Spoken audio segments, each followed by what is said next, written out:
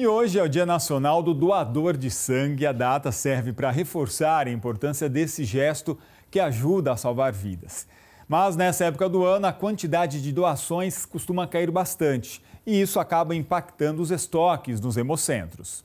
O Hemocentro de Rio Preto atende toda a região, realizando cerca de 40 mil transfusões de sangue por ano. Incentivar a doação de sangue e o cadastro de medula é uma forma de reforçar os estoques e conscientizar a população, especialmente em uma época em que as doações costumam cair drasticamente. 2024 foi o ano que menor teve doações de sangue dos últimos três anos aqui no Hemocentro Rio Preto. Isso é muito preocupante, né? Porque hoje o Hemocentro Rio Preto atende aí 40 instituições de saúde em todo o Noroeste Paulista.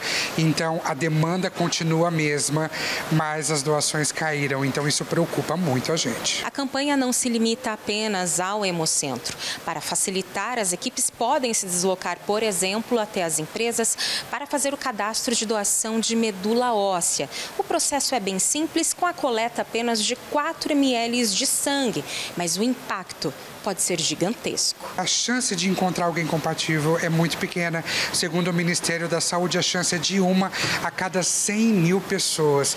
Então, se a gente parar para pensar que Rio Preto tem quase 500 mil habitantes, se todo mundo se cadastrasse, apenas cinco pessoas seria compatível, né? Então, é uma chance muito pequena. Por isso que a gente precisa cadastrar doadores cada vez mais. Segundo o Ministério da Saúde, menos de 2% da população brasileira é doadora regular regular, embora a demanda por sangue no país chegue a 3 milhões e meio de bolsas por ano. Para mudar essa realidade, dezenas de funcionários de empresas de tecnologia foram incentivados a fazer a doação. E foi uma surpresa para nós, né? Um assunto que é um pouco de tabu, né? Que as pessoas costumam ter medo e não precisa ter medo. A gente fez uma primeira edição dessa campanha, tivemos mais de 100 pessoas, então a adesão foi muito grande e logo que lançamos essa, novamente superou nossa expectativa. A Marta sentiu na pele a importância da doação doação e faz questão de vir frequentemente até o Hemocentro. A minha mãe ela teve leucemia, inclusive ela até faleceu, então eu sempre tive essa vontade. Minha mãe precisou de várias doações, meu pai também já teve, é, precisou de fazer doação de plaqueta, né? Então eu acho importante essa ação. Eu sempre tive essa vontade e agora eu posso, né? Então eu contribuo a cada quatro meses eu estou aqui. O Hemocentro Rio Preto funciona todos os dias, inclusive de sábado, domingo, feriado, sempre das sete da manhã até a uma hora da tarde.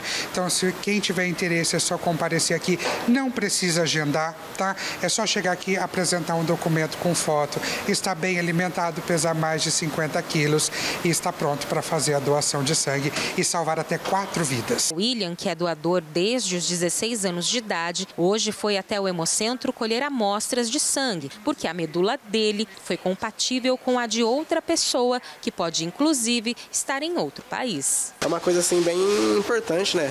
Todo mundo poderia estar fazendo isso e não faz. É uma coisa bem legal, que ajuda muitas pessoas. Já sou doador de sangue faz mais de 5, mais de 10 anos já.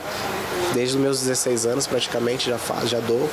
É uma coisa assim que, que ajuda não só você. Por uma hora pode ser até você mesmo, pode estar precisando do teu próprio sangue e você não faz essa doação.